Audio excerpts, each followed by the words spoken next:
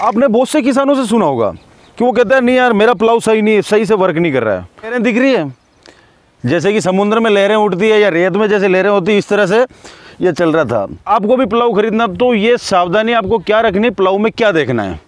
उसके बाद में आपको प्लाव खरीदना है। तो नमस्कार दोस्तों, आप देख रहे हैं एग्रीटेक गुरुजी और मैं हूँ आपका दोस्त सुरेश जाट।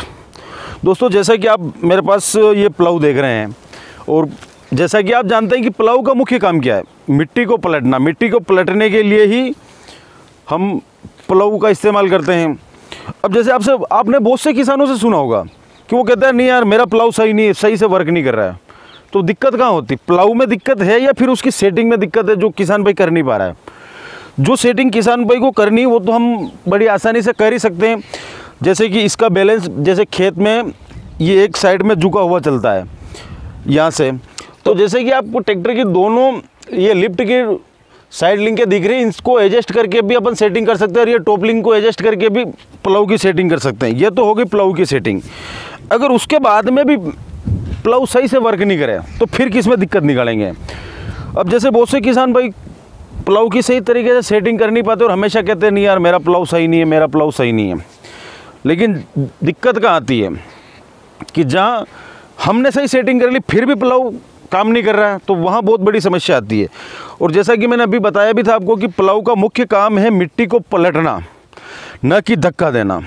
अब इस प्लाव में क्या दिक्कत आ रही है, वो मैं आपको बताता हूँ। कहीं कहीं क्या होता है, किसान तो अपने स्तर पर सारी सेटिंग कर लेता है।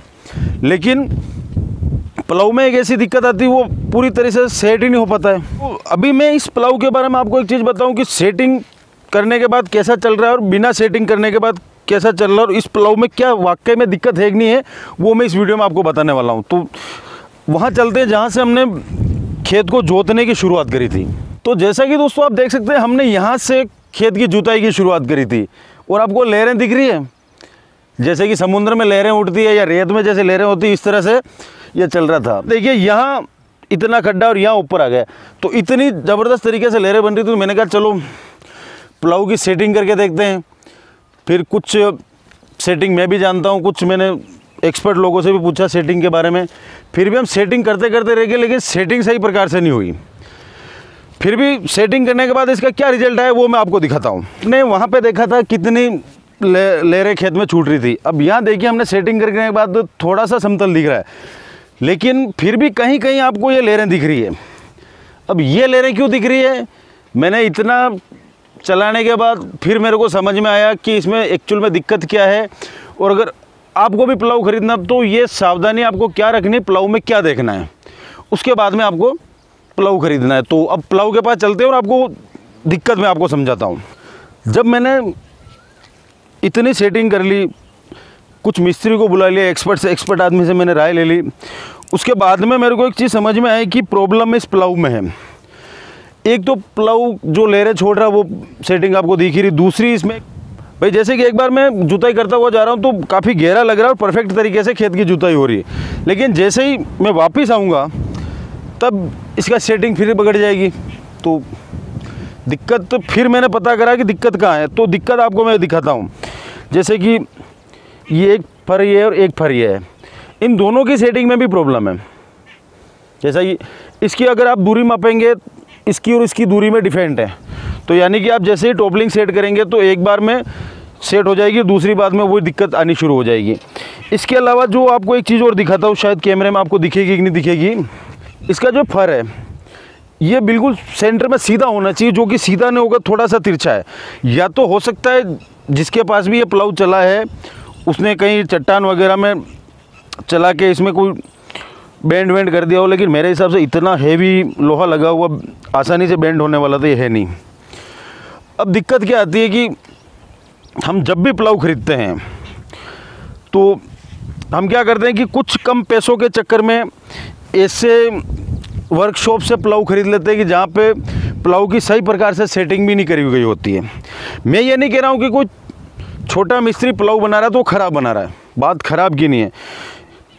जैसा कि इसका काम मिट्टी पलटना है तो ये पूरी तरह से मिट्टी है, पलट भी नहीं पा रहा है। पहली बात तो इसीलिए लेरे छूट रही है। दूसरी चीज़, सेठ खेत में हो नहीं पा रहा तो है तो मैन्युफैक्चरिंग डिफेक्ट ही है।